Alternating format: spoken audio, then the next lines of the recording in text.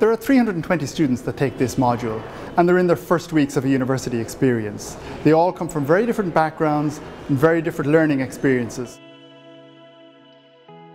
So tonight's assignment, the students are actually set a challenge over a three-week period, a challenge where they have to build a one metre tall paper tower. Well, the design challenge is to make a tower uh, one metre high that holds one kg. So our tower, we used about 19 sheets of paper. Um, we couldn't use any tape or sellotape like glue or anything like that, so we had to fold the paper together using flaps and slits. Yeah, I mean, we we did kind of calculations and stuff like that, working out what forces would act on what parts. So we have all horizontal and vertical parts to our uh, to our tower. The paper tower is made of cylinders and they're all the same width and height. Well, we were researching a lot of buildings and we thought the Eiffel Tower was a good bit of inspiration for us. It's basically just a series of blocks with a sheet in between each block to hold it up all engineering students in UCD must take this module.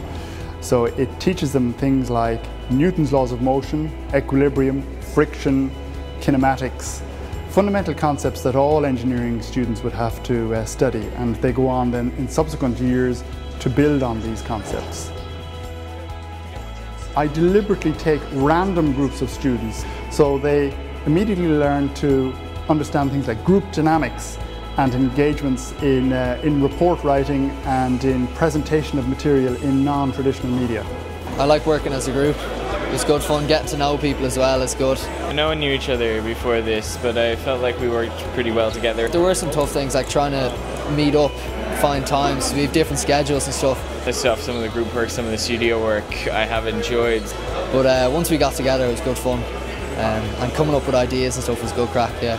For our report we have to include the material covered in lectures, so we looked up stuff like the friction coefficient of the floor, we had to do free body diagrams with the weight on top of the tower. A lot of the like report side of things is to do with the maths behind it, so you can't just simply build a tower out of paper and then hope for the best, you have to actually kind of show the reason behind it. Traditionally when this module was taught, we only had lectures and tutorials.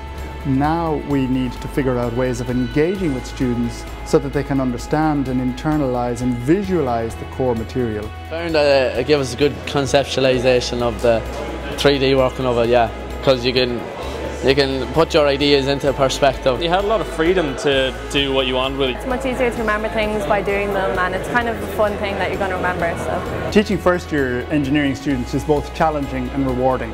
It's challenging because not all students would have studied the same subjects before they come to university. I love maths. Absolutely love it. In school I liked maths and uh, problem solving.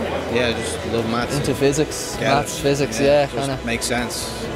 But it's also very rewarding because I have the ability and the opportunity to actually engage these students in university education and helping them settle into university life in a large engineering school very quickly. I never understood why you had this thing called a project manager. Now I can see them. Definitely, can yeah. you see? Definitely. Yeah, definitely, yeah, I can see that now. So. Attendance at lectures is very, very high. Typically it's between 95 and 80 or 85%. The weaker students who would traditionally have been failing or having to do resits that proportion of students has diminished significantly. So I'm inspired by the fact that our students always manage to be very imaginative, very innovative and very creative. They come up with designs that always surpass my brief. And working in teams such as this brings out the best in our students.